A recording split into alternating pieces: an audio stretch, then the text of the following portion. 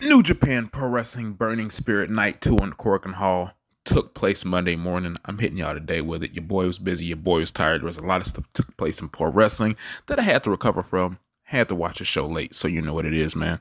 So without any further ado, let's go ahead and get into the show. Like I said before, we are in Korakuen Hall right now, just September 5th. New Japan Pro Wrestling, New Japan World is where you can find the show. That's where it was streamed. So this is only Japanese commentary when you go look at it on New Japan World. Don't be alarmed. Don't be dismayed. I feel it helps the experience for the show. It is what it is. First match we had here, we had the King of Pro Wrestling, leader of Suzuki Gun, Minoru Suzuki, taking on the defeating bad dude Tito around 8 minutes and 42 seconds. He got the victory with a Gotch style piledriver, of course this was a really fun match. This was good seeing Bad Dude Tito in a setting against a guy like Minoru Suzuki, getting low key a spotlight because this is not a main event match, but this is a highlight match for Bad Dude Tito over in Japan. He went against a Japanese legend, not just a Japanese legend, a legend in pro wrestling wherever the country is. So Minoru Suzuki gets the victory right here. Moving on up the card, we got Yoshihashi, Yo, Hiroki Goto, and Toru Yano defeating the House of Torture's Evil, Sho, Dick Togo, Yujiro Takahashi right here. Yano rode up Dick Togo around uh, nine minutes and was I, I think Yoshihashi uh, I, I, think he round, round uh, him up. I think it was excuse me, it was Yoshi uh, Yano rolling up Togo around I think around nine minutes and sixteen seconds right here pretty much this is a spot for the heels to get their heat back after the match. And that's literally what took place. So yeah, like I said, that never open weight six man tag team title match will be coming up soon. Let's keep our eyes on that, and we'll move on to the third match of this card. We got Bullet Clubs, Hikuleo, Chase Owens, and Bad Luck Fale taking on defeating Jeff Cobb, Great-O-Khan, and Gideon Grey around 9 minutes and 57 seconds. Hikuleo defeated, got the victory for his team. He got Gideon Grey with the choke slam. And like I said on the other review, this is pretty much Gideon Grey. He's going to take his lumps. He's going to take his bumps right here. And this is more the same. And you are also establishing Hikuleo over here back in Japan once again, which it's been many years since the Japanese crowd has seen him. So you need to establish him as a strong, dominant, this monster guy because he's a huge, he's a huge man. So moving on up the card, down the card, United Empires, TJP, Aaron Henare and Francisco Akira taking on defeating Master Wato, Ryusuke Taguchi, and the DKC. We got the Blue Thunder Bomb from Henare. Then he hit a spear on the DKC to get the victory for his team around 10 minutes and 58 seconds.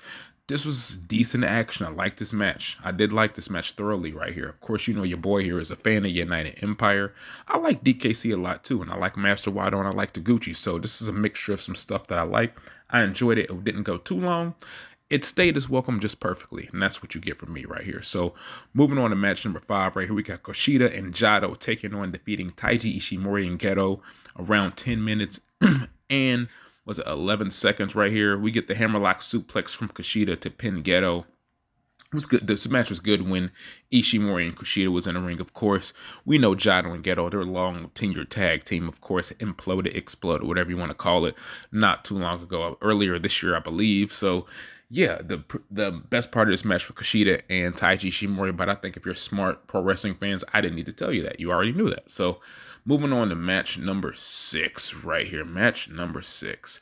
We had the team of El Phantasmo and Kenta defeating Shingo Takagi and Bushi of Los Ingobernables de Japón right here. So we get the victory when ELP hits the modified styles clash, aka the CR2 on Bushi.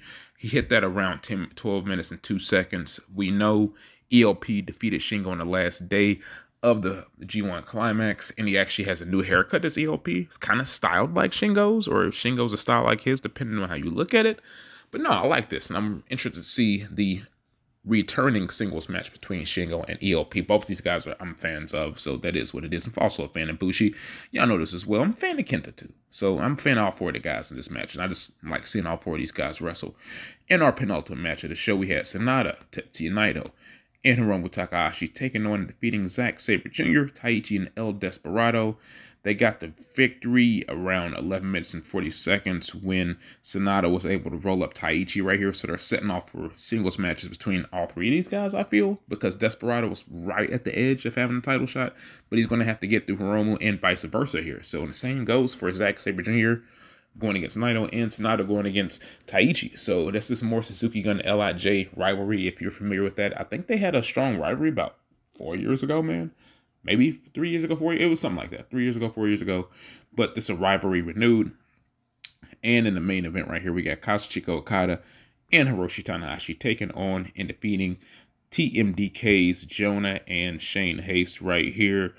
We get Tanahashi hitting the uh, I think Tanahashi is the one who got the victory right here. He hit the high fly flow on Shane Haste for the pinfall. And this was a really entertaining tag match right here.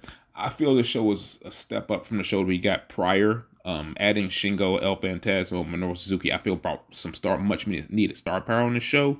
So, and that's the crowd getting vocal. Of course, I forgot to mention that crowd was actually able to cheer her the first time in almost two and a half years. So that's something we cannot be regressed to. You mentioned right here. Uh, main event was kind of similar, identical players from the days before. That is what it is. Uh, I'm enjoying them telling the story of Zack Sabre Jr. having a chip on his shoulder, so that's something really good and something for us to keep our eye on.